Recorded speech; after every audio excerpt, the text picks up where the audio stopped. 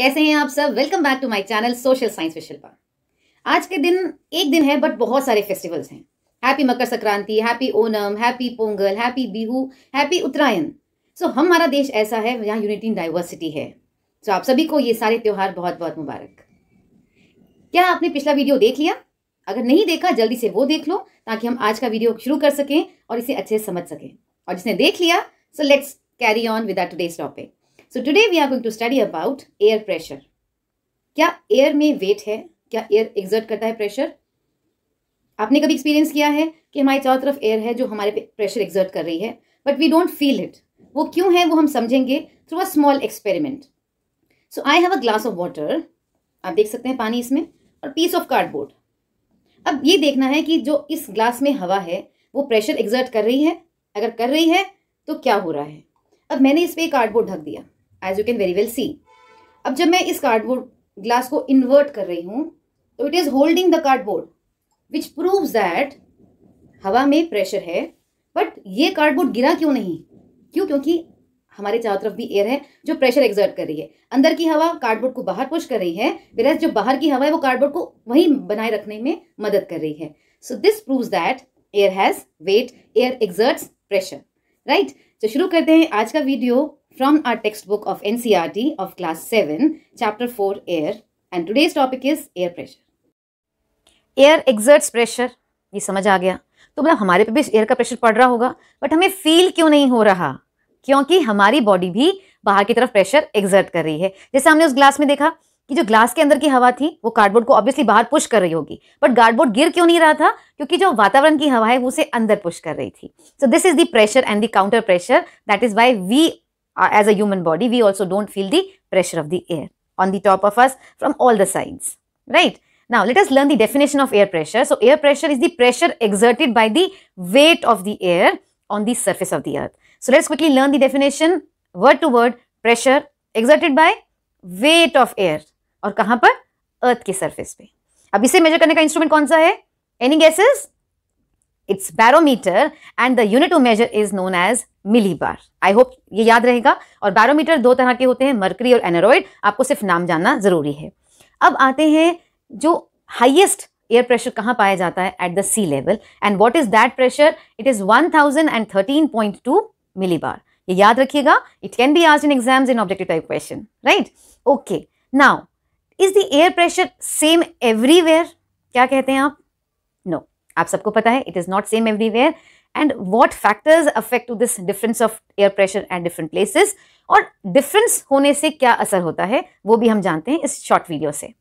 Now see air pressure as I told you is highest at the sea level and it decreases with the height जैसे जैसे हमारे, हम higher altitude जाते जाएँगे, जो air pressure है वो घटता जाएगा।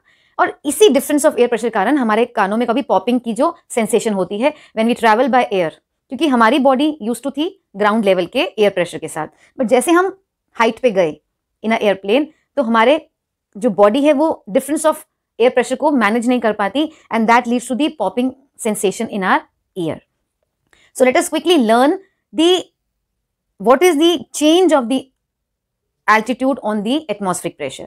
So when we go 30 meter high means altitude हम क्रॉस करते हैं, हम हाइट पे जाते हैं so it falls by 3.5 millibars जैसे हमने नॉर्मल लैब स्टेट में पढ़ा कि हाइट के साथ टेम्परेचर घटता है, ऐसे ही हाइट के साथ एटमॉस्फेयर प्रेशर भी घटता है। अब इस प्रेशर के चेंज होने से, जैसे मैंने आपको बताया एग्ज़ाम्पल लाइव एग्ज़ाम्पल जो आप सबने एक्सपीरियंस किया होगा while travelling by air similarly ये डिफरेंस ऑफ़ जो एटमॉस्फेयर प्रेशर है it's a reason for wind blowing of the wind and the occurrence of storms so हम जानेंगे कैसे विंड्स होती हैं because of the difference of the atmospheric pressure right अब हम जानते हैं कि ये एटमॉस्फेयर प्रेशर किन फैक्टर्स पे अफेक्ट करता है? Means what factors affect the atmosphere pressure of one place to another so the first is the altitude अब हम तीनों फैक्टर्स को वन बाय वन डिटेल में स्टडी करेंगे with some small small flow chart ताकि आपको याद रहे। और ये flow chart you can draw in your notes notebook ताकि जाके आप क्विक रिविजन के लिए जब एग्ज़ाम में चैप्टर आए तो आप एक क्विक रिकैप कर सकें इस वीडियो का, इस टॉपिक का। और अगर नोट्स नहीं बनाने हैं तो जो मेरे नोट्स इसमें मैं link भेजूँगी you can easily download them और easily print them for your future use so the first is the altitude altitude जैसा मैंने अभी आपको बताया height as we move up the pressure of the air decreases now what is a phenomena behind it क्या logic है उसके पीछे? वो लॉजिक है व्हेन वी मूव अप या फिर जब हम सी लेवल की बात करते हैं वहाँ ग्रेविटी ज़्यादा है, वो हवा को होल्ड करके रख रही है सो वहाँ हवा का वेट ज़्यादा है। जैसे ऊपर जाते जाएँगे ग्रेविटी ग्रेविटेशनल पुल कम होता जाता है, हवा लाइट होती जाती है। So as we move up the air becomes light और light air means less pressure और मीन सी लेवल पे प्रेशर ज़्यादा क्यों है? क्योंकि वहाँ पे हवा का दबाव ज़्यादा है। क्यों? क्योंकि of the gravitational pull of the pull which holds the atmosphere more densely on the surface of the earth then moving to the next factor that is the temperature अब ये समझना बहुत ज़रूरी है। जहाँ टेम्परेचर ज़्यादा टेम्परेचर हाई तो मतलब क्या होगा? एयर एक्सपैंड होगी। आपने साइंस में एक्सपेरिमेंट किया होगा molecules expand when heated so ऐसे ही जब टेम्परेचर राइज होगा मीन्स गर्म है वातावरण, हवा में नमी, हवा में गर्मी है तो मॉलिक्यूल स्प्रेड होंगे और स्प्रेड होंगे मीन्स हवा लाइट होगी। और लाइट मीन्स कैसा प्रेशर एग्जर्ट करेगी? लो प्रेशर समझ आ गया? इसमें कोई डाउट है तो प्लीज़ दोबारा ये वीडियो देख लेना या मुझसे कमेंट सेक्शन में पूछ लेना ओके कोई डाउट नहीं रखना, क्योंकि अगर आज डाउट रहा वो फ्यूचर में नुकसान करेगा राइट अगर लो टेम्परेचर है लो टेम्परेचर मीन्स ठंडा है ठंडा है तो हवा डेंस है, और डेंस है मीन्स हवा हैवी है, और हैवी मीन्स हाई प्रेशर समझ आ गया?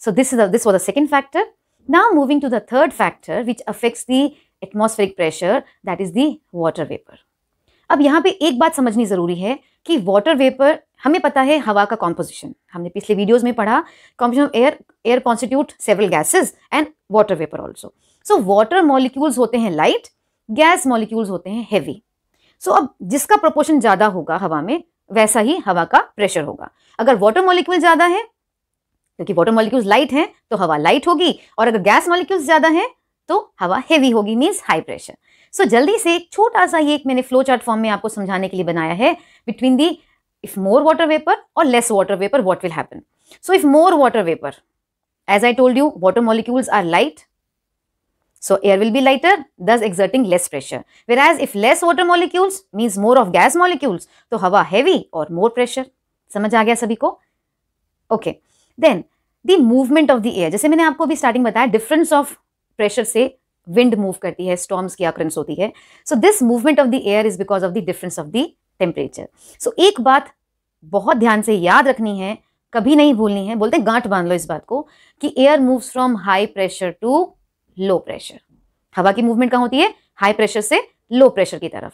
सो so, अगर हाई प्रेशर है तो it that place would experience nice sunny weather but जहाँ पे लो प्रेशर है वहाँ पे क्लाउडी रेनी वेदर एक्सपीरियंस किया जाता है. जब चैप्टर क्लाइमेट पढ़ा है आपने और आने वाले क्लास में पढ़ेंगे तो ये फिनोमिना आपको याद रखना है ताकि आपको वो चैप्टर अच्छे से समझ आए। So movement of the air is from high pressure to low pressure और हाई प्रेशर एरिया क्या एक्सपीरियंस करता है? Sunny weather whereas low pressure area experience करता है cloudy and rainy weather so इसका लॉजिक क्या है? जो कोल्ड एयर है it sits on the surface और हॉट एयर है वो राइज होती है। हॉट एयर राइज होगी ठंडी हवा उसकी जगह ले लेगी। सो so, ये रीजन है movement of the Now let us try to understand through a diagram that how the wind moves because of the difference of the atmospheric pressure. Now in this diagram, first of all let us see the index which is given here. Blue represents low pressure area and the red represents the high pressure area. So जैसा हम इस diagram में देख सकते हैं I have drawn equator here and subsequently we know equator high temperature lot of water vapors because of the constant evaporation. So it has a low pressure area. So low pressure area and then subsequently a higher layer has a high pressure area. So we can see the movement of the wind from high to low. Similarly in the southern hemisphere also from high to low. So अब आपको समझ आ गया है और अगर साथ ही साथ आप ये भी देखें ऑन द राइट साइड जो low pressure area experiences uh, rainy or the cloudy weather whereas the high pressure area experiences the sunny weather.